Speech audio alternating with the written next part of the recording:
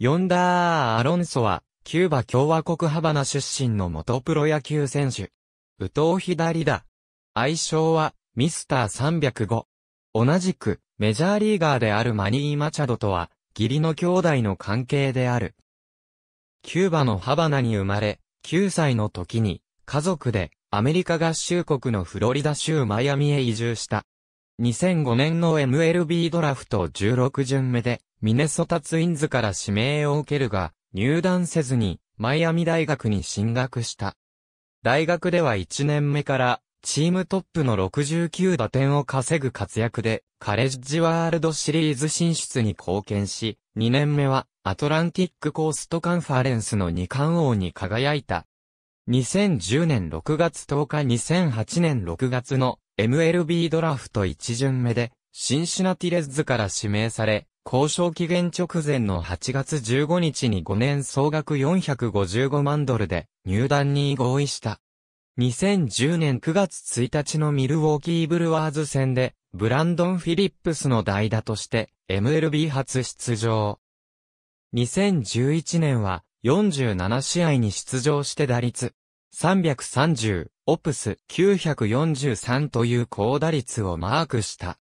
2011年12月17日にマットレートスとの1対4のトレードが成立。ブラッドボックスバーガー、ヤズマニ・グランダル、エディンソン・ボルケスと共にサンディエゴ・パドレスへ移籍した。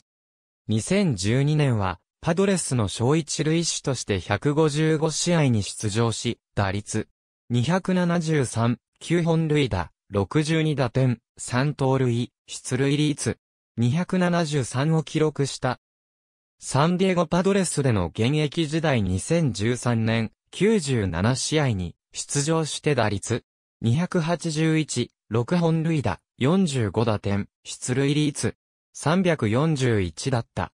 2014年3月3日にパドレスと1年契約に合意した。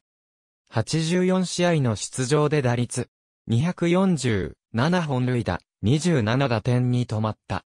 2015年1月16日に、パドレスと年俸頂点を回避し1年契約165万ドルで契約を結んだ。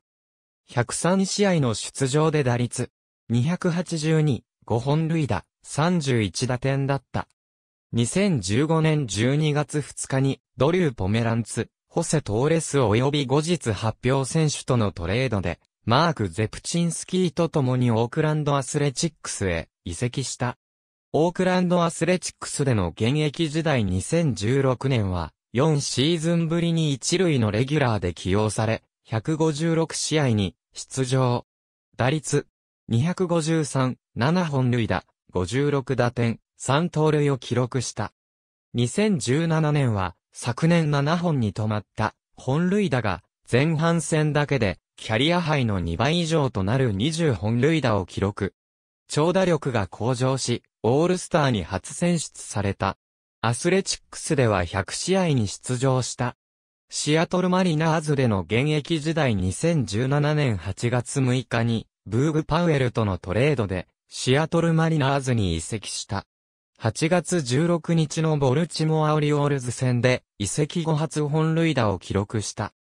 この年、アスレチックスとマリナーズの2球団で合計142試合に出場して打率266、28本塁打、67打点、出塁率365を記録したが、オフの11月2日に FA となった。2017年12月23日にクリーブランドインディアンスと2年1600万ドルで契約を結んだ。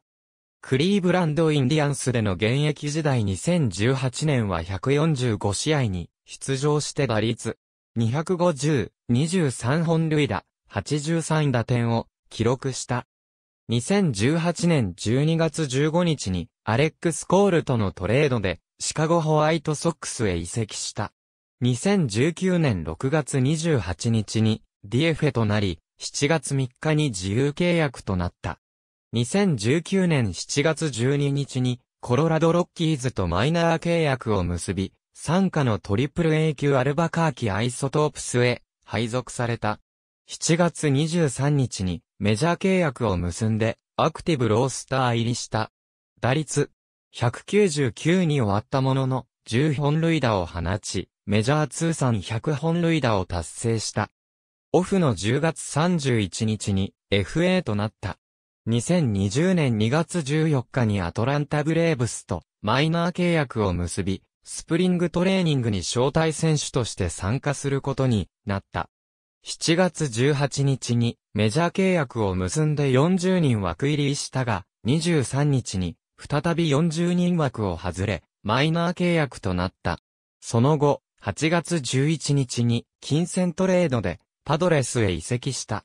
出場機会がないままシーズンを終了し、11月20日に自身のインスタグラムで現役引退を表明した。